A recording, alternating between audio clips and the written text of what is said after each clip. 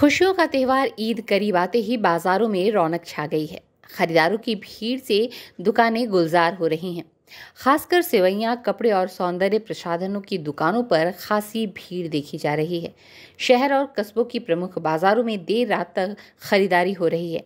हालाँकि दोपहर में तीखी धूप के कारण दुकानों में भीड़ कम हो रही है, लेकिन देर शाम से फिर खरीदारों की भीड़ उमड़ने लगी। ईद को लेकर शहर, कस्बों और गाँवों में मुस्लिम बहुल, मोहल्लों और बस्तियों में खासा उत्साह का माहौल है। घरों में ईद मनाने की तैयारियाँ जोरों पर हैं। ईद पर दस्तरखान पर सजने वाले लजीज व्यंजनों की रेसिपी भी महिलाओं ने तैयार कर ली है। ईद को लेकर युवा और बच्चों में काफ़ी उत्साह है। बच्चों को ईदी का बेसब्री से इंतज़ार है। वहीं बाज़ार भी इन मौक़ों को भुनाने में जुटा हुआ है। बाज़ार में एक से बढ़कर एक आधुनिक डिज़ाइन के कपड़े सेवैयाँ और टोपियों की दुकानों पर दिन भर ग्राहकों की भीड़ देखी जा रही है।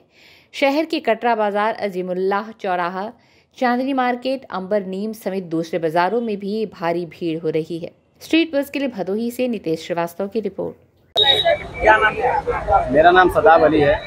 ये देखिए, अगर चाँद दस को हुआ तो ग्यारह गीत पड़ेगी, ग्यारह को तो बारह गीत पड़ेगी। खरीदारी को लेकर स्थिति सही है, अगली बार तरह मार्केट डाउन है इस बार। फ़र्क आया इस बार, अगली बार इस बार बहुत फ़र्क आया है। रौनक नहीं है मार्केट इस बार, हर साल की तरह। देखिए, हर बार की हर बार की तरह इस साल महँगाई है। हर सामान में दस बारह रुपये रेट ज़्यादा है इस बार। दुकान देखिए चालीस साल पुरानी है। और मेरे पास सेवई मिल जाएगी सुखनी मिल जाएगी, चिप्स मिल जाएगी। और खजूर पापड़ हर चीज़ मिल जाएगी।